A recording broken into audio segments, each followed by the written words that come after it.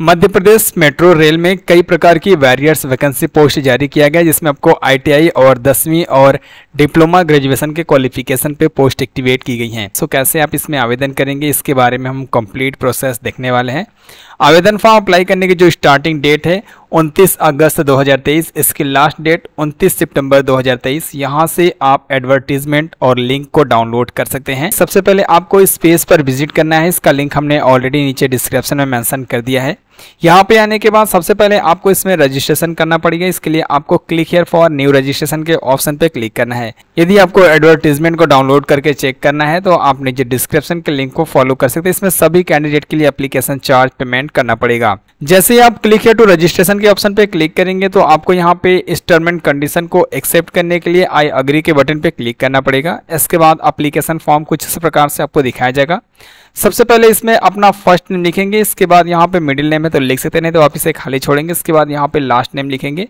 इसके बाद अपना कंप्लीट यहाँ पे नाम लिखेंगे और यहाँ पे डेट ऑफ़ बर्थ सेलेक्ट करेंगे। डेट ऑफ़ बर्थ आप जैसे सेलेक्ट करेंगे, एक जुलाई 2023 से आपकी एज कितने साल, कितने महीने और कितने दिन के हो गए हैं वो आपको दिखाया जाएगा।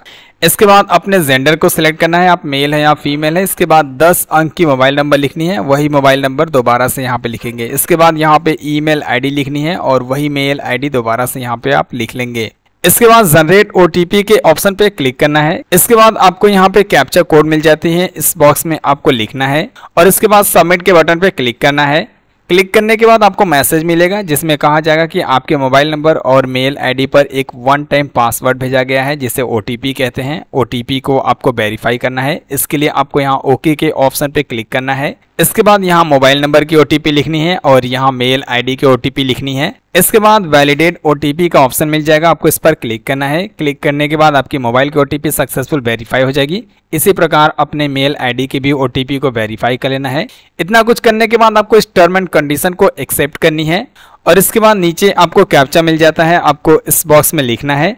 और इसके बाद री वेरीफाई के ऑप्शन पे क्लिक करना है। क्लिक करते ही, आपकी डिटेल्स से नीचे कुछ दिखाया जाएगा। ये जो डिटेल्स आपने लिखा है, इसके बगल में आपको बॉक्स मिलेगा। अगर आपका ये डिटेल्स सही है तो इन बॉक्स पे आपको सही का ट्रिक मार्क करनी है। किसी भी ऑप्शंस में गलत लगता है तो आपको पहले एडिट करना है, इसके बाद बॉक्स को एक्सेप्ट करनी है और इसके बाद सबमिट के ऑप्शन पे क्लिक करके ओके के बटन पे क्लिक करना है। इसके बाद आपकी जो रजिस्ट्रेशन है, वो कंप्लीट हो जाती है। यहाँ पे आपकी डिटेल्स दिखाया जाता है। इस साइड में आपको रजिस्ट्रेशन नंबर भी आपको मिल जाएगा। इस पेज को प्रिंट करने के लिए यहाँ प्रिंट के बटन पे क्लिक करके इसे प्रिंट आउट ले सकते हैं, या तो आप इसका स्क्रीन ले सकते हैं। अब आवेदन फॉर्म अप्लाई करने के लिए सबसे पहले आपको लॉग आउट करना पड़ेगा। लॉग आउट करते ही यहाँ पे आपको लॉगिन करने का ऑप्शन मिल जाता है तो सबसे पहले यहाँ पे यूज़र आईडी और यहाँ पे पासवर्ड लिखना है। ये यूज़र आईडी और पासवर्ड आपके मोबाइल नंबर और मेल आईडी पर इनके द्वारा मैसेज के रूप में भेजा गया है। यूज़र आईडी और पासवर्ड लिखने के बाद यहाँ पे आपको कैप्चा मिलेगा। आपको इस बॉक्स में लिखना है, इसके बाद लॉगिन का बटन मिल जाता है। आपको इस बटन पे क्लिक करना है। क्लिक करने के बाद उसी पेज पे आपको रिडायरेक्ट किया जाएगा, जहाँ पे आपकी रजिस्ट्रेशन डिटेल्स आपको दिखाया जा रहा था। यहाँ ऊपर आपको एप्लीकेशन फॉर्म का लिंक मिल जाएगा। जस्ट आपको इस एप्लीकेशन फॉर्म के ऑप्शन पे क्लिक करना है। और इसके बाद यहाँ click here to create application के ऑप्शन पे क्लिक करना है। क्लिक करने के बाद एक नया पेज आपके सामने ओपन होगा। इसमें कई सारी ऑप्शंस आपकी फिलअप रहेंगी। कई सारी ऑप्शंस आपको फिलअप करने पड़ेंगे। आपको नीचे करना है। सबसे पहले यहाँ पे पिता का फ़र्स्ट नेम लिखनी है। मिडिल नेम है तो लिख सकते हैं, नहीं तो आप इसे खाली छोड़ सकते हैं। इसके बाद लास्ट नेम लिखेंगे। इसके बाद किस पोस्ट के लिए आप आवेदन फॉर्म अप्लाई करना चाहते हैं, वो पोस्ट यहाँ पे आप सिलेक्ट करेंगे। पोस्ट सेलेक्ट करते ही, यहाँ पे पोस्ट कोड ऑटोमेटिक ऐड हो जाएगा। इसमें कितना आपका पे स्किल सैलरी है वो दिखाया जाएगा। किस कैटेगरी में आप फॉर्म अप्लाई कर रहे हैं वो आपको यहाँ पे दिखाया जाएगा। इसके बाद अपने नेशनैलिटी को सिलेक्ट करना है। अगर आप मध्य प्रदेश के निवासी हैं तो यहाँ पे आप यस करेंगे। इसके बाद आप कौन सी कैटेगरी से आते हैं, अपने कैटेगरी को यहाँ पे आप सिलेक्ट कर लेंगे। इसके बाद रिजर्वेशन कैटेगरी आपको यहाँ पे सिलेक्ट करने का ऑप्शन मिल जाएगा। और इसके बाद डोमिसाइल सर्टिफिकेट की डिटेल्स को ऐड करना पड़ेगा। अब यदि आप मध्य प्रदेश के निवासी नहीं है तो यहाँ पे आप नो करेंगे। इसके बाद आपकी कैटेगरी क्या है, वो कैटेगरी इसमें आप सिलेक्ट कर लेंगे। इसके बाद आपको रिजर्वेशन कैटेगरी में सिर्फ़ जनरल कैटेगरी ही लिया जाएगा, क्योंकि अगर आप मध्य प्रदेश के निवासी नहीं होते हैं और इसमें वैकेंसी को अप्लाई कर रहे हैं तो सिर्फ़ आपको जनरल कैटेगरी में ही इसमें लिया जाएगा। इसके बाद अपने डोमिसिल सर्टिफिकेट की डिटेल्स ऐड करनी है। जैसे यहाँ पे अपने डोमिसिल सर्टिफिकेट की ऑथराइज नेम लिखनी है। यहाँ पे इशू डेट सेलेक्ट करना है। यहाँ पे सीरियल नंबर या सर्टिफिकेट नंबर लिखनी है। देखिए, अगर आप मध्य प्रदेश के निवासी नहीं होते हैं तो ये सर्टिफिकेट आप यहाँ पे नहीं देंगे डिटेल्स तो भी पर कोई दिक्कत नहीं होगा। अगर आप मध्य प्रदेश के निवासी होते हैं तो आपको सर्टिफिकेट की डिटेल्स को मैंसन करना ही पड़ेगा। इसके बाद आपको नीचे करना है। यदि आपका शादी हो चुका है तो यहाँ पे यस करेंगे और यहाँ पे अपना डिटेल्स मेंशन करेंगे। यदि नहीं हुआ है तो इसमें आप नो सेलेक्ट करेंगे।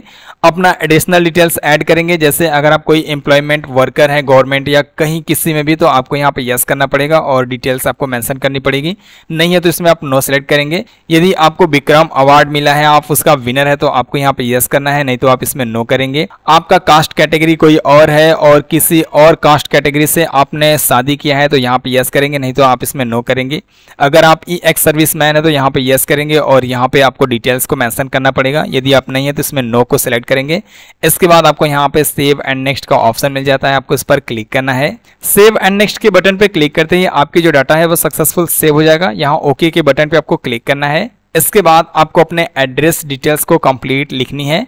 यदि आप सेम पते पर रहते हैं तो आपको यहाँ पे एक बटन मिल जाता है। आपको इस बटन पे यस करना है। यस करते ही आपकी जो एड्रेस से नीचे ऐड हो जाएगा, किसी और पते पे रहते हैं तो आपको यहाँ पे नो करना पड़ेगा। और जिस पते पे आप रह रहे हैं, वो पता इसमें आप लिख सकते हैं। इसके बाद आपको नीचे सेव एंड नेक्स्ट का बटन मिलता है। आपको इस पर क्लिक करना है। ये भी डाटा आपका सक्सेसफुल सेव हो जाएगा।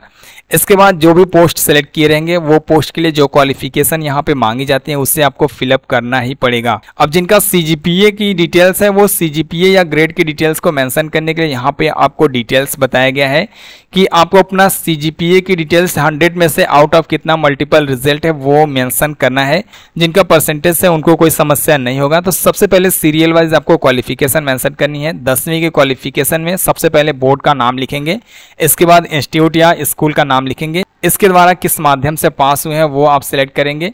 और इसके बाद यहाँ पे कितना नंबर पाए हैं वो लिखेंगे। मैक्सिमम कितने नंबर की होती है वो लिखेंगे। परसेंटेज यहाँ पे ऑटोमेटिक जनरेट हो जाएगा। इसके बाद पासिंग ईयर सेलेक्ट करनी है।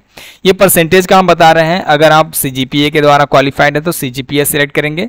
सीजीपीए में टोटल आप कितना नंबर पाए हैं वो लिखेंगे। इसके बाद टोटल आपका कितना सीजीपीए नंबर है वो लिखेंगे। इसके बाद सीजीपीए की मल्टीपल फैक्चर यहाँ पे आपको लिखनी है और यहाँ पे परसेंटेज ऑटोमेटिक कैलकुलेट होके ऐड हो जाएगा। इसके बाद यहाँ पे अपना पासिंग ईयर लिखेंगे। सभी क्वालिफिकेशन को हमने इसमें एक एक करके ऐड कर लिया है। जिस प्रकार से हमने क्वालिफिकेशन ऐड किया है, उसी प्रकार से अपना क्वालिफिकेशन डिटेल्स इसमें आप ऐड करेंगे। अपने सभी क्वालिफिकेशन को ऐड करने के बाद आपको नीचे करना है। यदि आपने कोई हायर ग्रेजुएशन डिग्री क्वालिफाइड किया है तो उसका डिटेल्स आप इसमें लिख सकते हैं। नहीं तो जितना भी क्वालिफिकेशन इसमें मांगी गई है, उतना आप ऐड कीजिए। वैसे जहाँ पर स्टार मेंशन की गई है, उसे आपको फिलअप करना पड़ेगा। तो अपने क्वालिफिकेशन को लिखने के बाद आपको सेव एंड नेक्स्ट के बटन पे क्लिक करना है तो आपकी जो डाटा है वो सक्सेसफुल सेव हो जाएगा। इसके बाद एग्जामिनेशन सिटी आपको इसमें सिलेक्ट करना है। ये एग्ज़ाम सिर्फ़ मध्य प्रदेश में ही होगा, अदर कहीं और स्टेट में नहीं होगा। अपने एग्ज़ाम सिटी को सिलेक्ट करने के बाद सेव एंड नेक्स्ट के बटन पर क्लिक करना है। इसके बाद आपकी डाटा सक्सेसफुल सेव हो जाएगा। अब इसके बाद आपको अपने डॉक्यूमेंट्स को अपलोड करनी है, जिसमें सबसे पहले अपने फोटोग्राफ को अपलोड करना है। इसके बाद सिग्नेचर अपलोड करनी है। इसके बाद अपने डेट ऑफ़ बर्थ सर्टिफिकेट को अपलोड करनी है। अगर आपके पास डेट ऑफ़ बर्थ की सर्टिफिकेट नहीं है तो आप दसवीं की सर्टिफिकेट अपलोड करेंगे। इसके बाद दसवीं की मार्कशीट अपलोड करेंगे। इसके बाद इंटरमीडिएट की मार्कशीट अपलोड करेंगे। इसके बाद एसेंटियल क्वालिफिकेशन की मार्कशीट अपलोड करेंगे, जैसे आईटीआई का हो गया या डिग्री हो गया या डिप्लोमा का हो गया। इसके बाद अपना हायर क्वालिफिकेशन इसमें अगर आप दिए हैं तो वो आप ऐड करेंगे, नहीं तो आप इसे खाली छोड़ देंगे। इसके बाद ऑर्डर रिलेटेड डॉक्यूमेंट्स आपको यहाँ पे अपलोड करनी है, ज़रूरी नहीं है। तो डॉक्यूमेंट्स को अपलोड करने के लिए यहाँ पे आपको बटन मिलता है क्लिक हियर टू अपलोड आपको इस पर क्लिक करना है। इसमें पचास से अस्सी के की साइज़ मांगी गई है टू हंड्रेड में होनी चाहिए जेपीजी फॉर्मेट में होनी चाहिए, जिसकी डायमेंशन तीन से चार की होनी चाहिए। अपलोड करने के लिए यहाँ पे आप ड्रैग एंड ड्रॉप भी कर सकते हैं, या तो आप इस पर क्लिक कीजिए। जहाँ पे अपना फोटोग्राफ रखें वहाँ पे जाना है। इसके बाद अपने डॉक्यूमेंट्स को सिलेक्ट करना है और ओपन के ऑप्शन पे क्लिक करना है। क्लिक करते ही आपकी फ़ाइल सक्सेसफुली ऐड हो जाएगा। इसके बाद आपको यहाँ क्लोज के बटन पे क्लिक करना है। अब इसके बाद आपको यहाँ इसे ओपन करना है इस पर क्लिक करके। अपने सभी डॉक्यूमेंट्स को अपलोड करने के बाद आप व्यू के ऑप्शन पे क्लिक करके चेक कर लेंगे। चेक करने के बाद आपको नीचे आना है। यहाँ पे आपको कितना अमाउंट फ़ी पेमेंट करना पड़ेगा वो दिखाया जाएगा।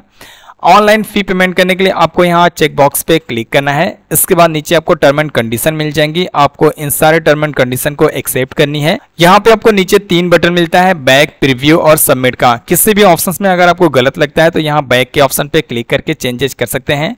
फॉर्म को सबमिट करने से पहले अपने आवेदन फॉर्म की प्रीव्यू आप चेक कर लीजिए कि इसमें क्या क्या डिटेल्स आपने फिलअप किया है। और फॉर्म को सबमिट करने के लिए यहाँ पे आपको सबमिट का बटन मिल जाता है। आपको इस पर क्लिक करना है।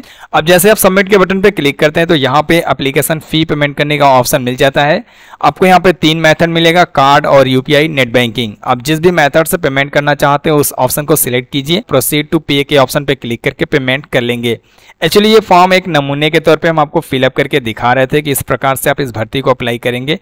आगे का जो प्रोसेस है सिर्फ़ आपको फ़ी पेमेंट करना है इसके बाद अपने एप्लीकेशन फॉर्म की प्रिंट आउट आप ले सकते हैं। सो so, वीडियो में बस इतना ही गाइस वीडियो पसंद आए तो इस वीडियो को लाइक कीजिएगा अपने दोस्तों के साथ शेयर कीजिएगा। यदि कोई सवाल होता है तो कमेंट करके पूछ लीजिएगा। ओके गाइस मिलते हैं अगली वीडियो में। बाय बाय जय हिंद